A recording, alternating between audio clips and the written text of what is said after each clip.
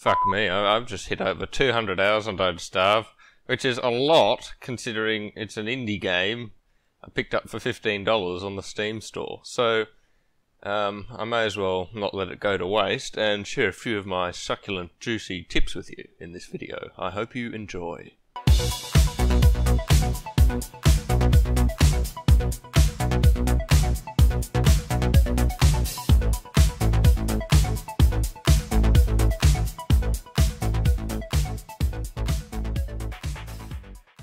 Now, first tip, I know it sounds really basic, but many people don't actually know you can do it. You just hold F to continuously attack an enemy instead of spamming left click. You can also use Control F to auto attack neutral creatures such as pigs or beefalo.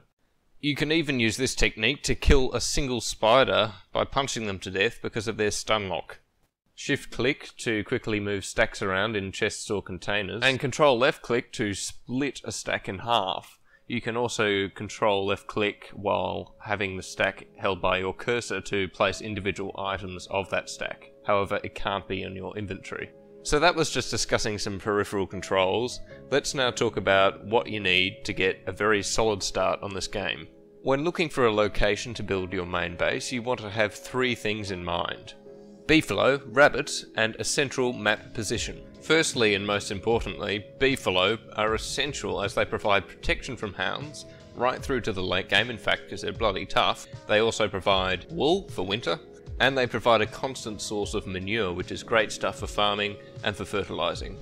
Now, if you can't get yourself a beefalo herd, a pig village is a viable alternative. Similarly to beefalo, they provide protection from hounds. If you feed them, they also give you manure, and as a bonus, they usually come with pre-built farms, which is really good for getting you up and running in the early game. However, they are definitely not as strong as beefalo herds, they don't breed by themselves, and you have to watch out for them on the full moon as they all turn into werepig savages. But the power of the werepig is something to be harnessed, and I'll touch on that later. So the second thing you want to look out for when building your first base is rabbit holes. It's kind of obvious why you want rabbit holes, I mean the more the merrier. Uh, just give you a constant source of food during winter, as long as you've stocked up on grass and twigs to continually make the traps of course.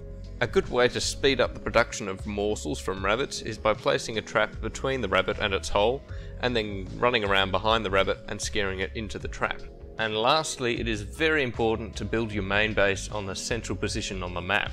This is why it's very important to go scouting in the early game for the first few days, just to get a sense of where all the different biomes are, so you can make an educated guess as to where the optimum location would be for you to build a central base. Wickerbottom is the best character for early game scouting as she can build anything from the first tier science machine straight off the bat. No mucking around to get gold for a spear backpack or shovel.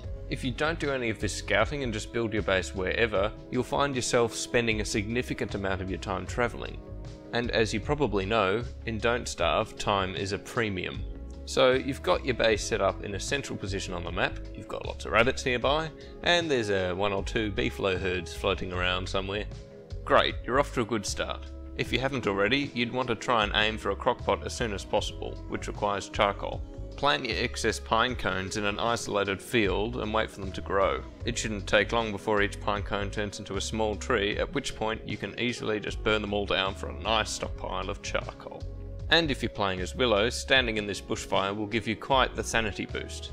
As you continue to develop your little base, you'll find yourself accumulating more and more monster meat. Initially I thought monster meat was the worst piece of meat in the game, but I later learned that that's not true. Monster meat is amazing. Use it to enslave a village of pigs. Get them to chop down your trees before sending them to their death at the hands of a tree guard, a tentacle monster, or anything you desire. Feed a pig four monster meat and he turns into a werepig.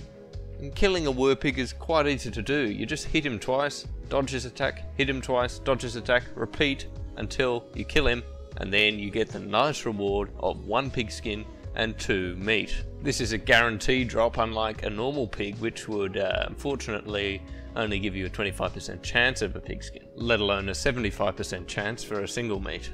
So every time you have an excess of monster meat, just farm werepigs and get their skins, and then use those skins to make pig huts near your base, and make football helmets and ham bats to continue this process over and over and over again until you have an enormous pig village right at your doorstep to defend anything. And if you keep this up, you may find yourself under the terrible pressure of having an abundance of meat. But not to worry, all you do is slap it on your drying racks, which you've made from your charcoal plantation, and there you go, you have beef jerky, one of the longest lasting and best foods in the game. All thanks to Werepig farming, via, that's right, monster meat which by the way also has a meat value of 1, good for that meaty stew, and you can also feed it to a bird in a bird cage to get yourself an egg. So, monster meat. It's not that bad after all. And now I'd like to talk about what I think is one of the most OP fruits in the game, and that is the dragon fruit. Put one dragon fruit, one, in a crock pot, and fill the rest of it up with sticks, and you have yourself dragon pie.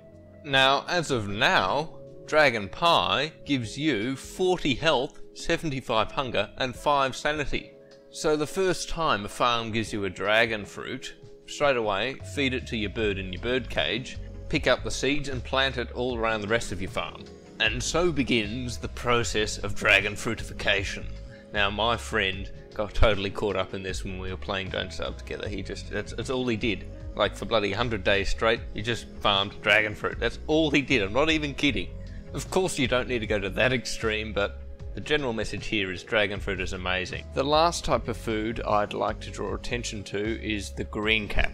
The other two mushrooms in the game, green and red, cooked or uncooked, don't really provide that much of a stat boost to the player but a cooked green cap restores 15 sanity at the cost of 1 health. So green caps are really good in the early game when you don't have the luxury of, of taffy or beef jerky like you would in the late game. Now I'm just going to tack on a few miscellaneous tips to the end of this video, so just bear with me wearing a football helmet actually gives you 20% water resistance despite not degrading over time. On a full moon, and only on a full moon, you can place a single nightmare fuel in every one of Chester's carrying slots, which will upgrade him into a Shadow Chester with an additional 3 slots, so he has a total of 12 carrying slots. And lastly, don't be wasteful with your fuel.